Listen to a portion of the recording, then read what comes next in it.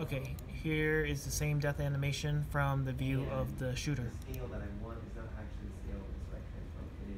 The part goes flying into the distance, and he's nowhere to be seen. Back up there.